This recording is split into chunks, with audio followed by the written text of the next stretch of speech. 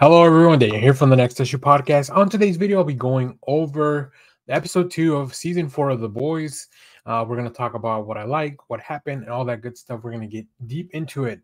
Uh, not the deep, just deep into it.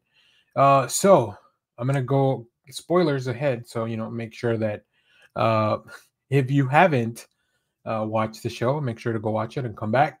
Uh, in this episode, after the events of the first episode, the boys continue to figure out uh, a couple of things. How they can get Victoria Neuman, um, I guess, removed from the board, I'll say. Uh, because as of now, she's on her way to becoming the president of the United States. Uh, and of course, Homelander, all the situation stuff going on with Ryan. Uh, yeah, pretty, pretty messy beginning of the season. And I think that's the way we like it. Uh, so, in this episode, we begin with a really fun cameo. Will Ferrell shows up uh, as he's playing the coach, who is the white savior in the A Train uh, biopic. Uh, so A Train, we see the return of uh, our favorite director, director of the Dawn of the Seven, uh, back here making this film. What what great range this director has, right? Uh, to do a film like this.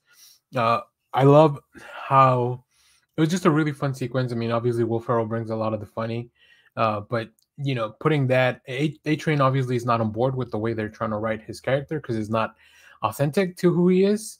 Uh, we're gonna once again see Noir, who seems to be. I, I don't think they've revealed who's under the suit, but it seems like is somebody who was probably an actor or on the acting track at Godolkin University, uh, as we saw in Gen V. So uh, both Annie and Hughie are in their respective hospitals. Hughie's taking care of his dad.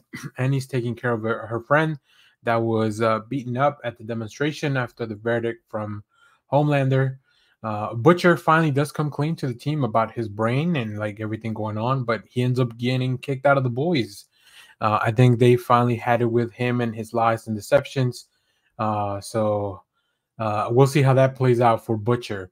Uh, also, Sage or Sister Sage uh, starts kind of challenging the status quo of uh, Vought. She's she's has their own machinations, I think. And although she's playing nice with Homelander, or as nice as you can play with Homelander for now, uh, it's a very interesting character. We haven't had a character that is all all brains, right?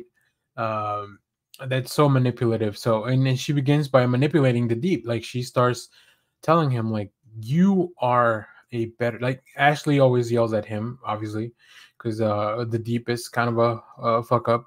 Uh so you know, she just puts the Sage puts this idea in the deep's head like you are the superior being. They shouldn't treat you like garbage. And um we then go see Butcher and the boys, even though he's kind of kicked out, he still kind of meets them there and ambushes them, so he joins the party.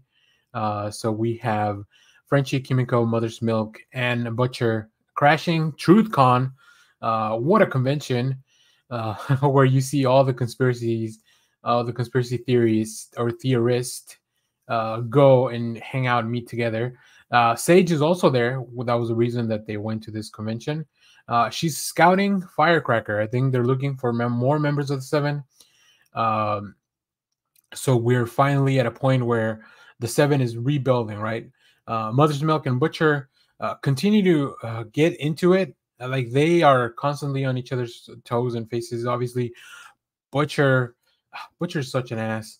Um, but yeah, uh, A Train helps uh, Starlight uh, prove that those guys were innocent. That the ones that were had been accused in the first issue. Um, that you know they planted those those dead bodies, and of course, uh, it's really interesting because A Train, I feel like he's finally getting a cool arc of like maybe this is where we can see some redemption, right? The first opening scene of this show was A Train running over Hughie's girlfriend.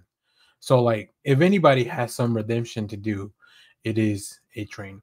Uh, Ryan also practices his first save. We see that a lot of the saves that are publicly done are uh, they're pretty much set up by Vought, right? So Ryan goes for his first save, but then Homelander shows up and kind of ruins what they had been practicing. And then Ryan accidentally kills Coy, who was the stunt guy and also the playing the the bad guy that was gonna get you know arrested there by by Ryan. So there's still we see that there's kind of like some jealousy from Homelander to Ryan. Uh, but I don't know. It's kind of a, it's such a messed up relationship. Um, we also see that Sage set up a trap for the boys, uh, and, and and a brawl finally spills out into. I don't know if it's a bar mitzvah or a but but but mitzvah. I think it's a bar mitzvah uh, or a bat mitzvah. Not exactly sure.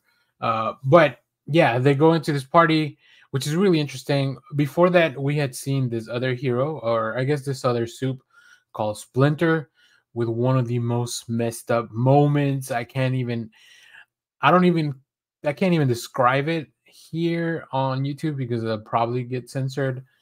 Uh, so just you just have to watch the episode. That might be the most one of the most messed up things we've seen this season already in episode two.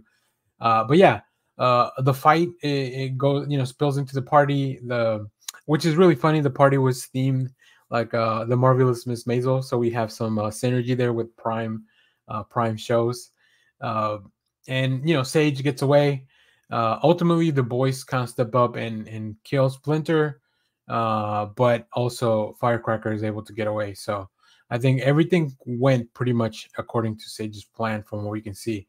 Um, and then we see uh, we have some seeds planted for things that are happening with Annie, uh, with Kimiko, with Frenchie and Hughie. Right, they're all kind of dealing with their own little side stories on top of the main thing that's happening. Uh, so I think that's going to be interesting to follow, follow along, and uh, I'm really enjoying this season of The Boys it's been continuing to be just like everything that I want from this show. It keeps pushing it. It's like they they don't really care. They'll push the envelope as far as they can. So, uh, and of course, great performances.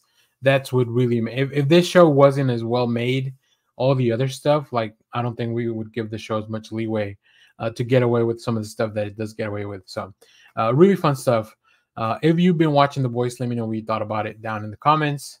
Uh, we'll have a review for episode three coming up soon in the channel, so stay tuned for that. And as always, thank you for watching, everyone. Remember to share, like, subscribe, hit the bell so you know when we go live. That is most Saturdays, 10 a.m. Central Standard Time. Stay tuned. We have more comic reviews, trailer reactions, TV recaps, all that fun stuff here in the channel. Thanks for watching, everyone. Bye bye.